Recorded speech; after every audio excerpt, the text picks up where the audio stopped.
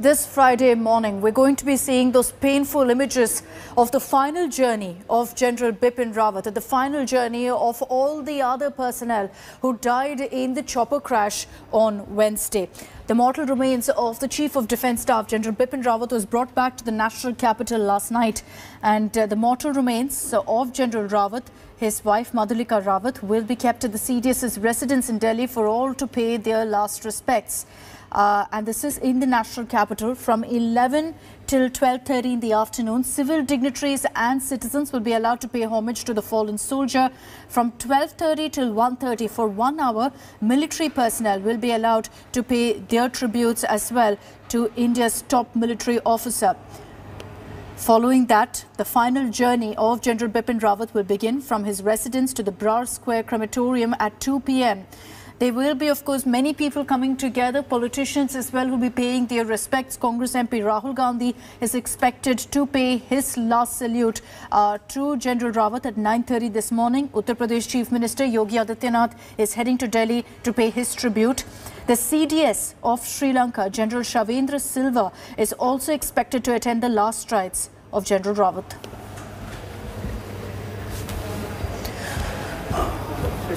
The tributes are pouring in from across the nation and really across the world for General Rawat. And today will be his last journey. He is going to be cremated at Delhi Cantonment at the Brar Square Crematorium. I want to take this across to Aishwarya Paliwal for more details on this. So Aishwarya, good morning. Uh, there's an outpouring of grief. Everyone really in the national capital, many people traveling to Delhi right now to be able to pay their last respects to a hero, to General Bipin Rawat. What is really the schedule that the authorities have planned out? We understand that for several hours, uh, the mortal remains of General Rawat will also be kept for people to come and pay their last respects. Well, for a couple of hours, in fact, uh, uh, from what, what we are gathering at the moment from 11 o'clock uh, today, uh, you know, the, the doors of General Bipin Rawat's house will be open for all those people who want to come and pay tribute. And from what, what we are gathering, Akshita, at the moment, the likes of Rahul Gandhi will also be going there to pay their tribute. Uh, as you said, uh, Uttar Pradesh Chief Minister Yogi Adityanath will also be there. Now, the journey will begin 2 p.m. from his house to the Brar Square.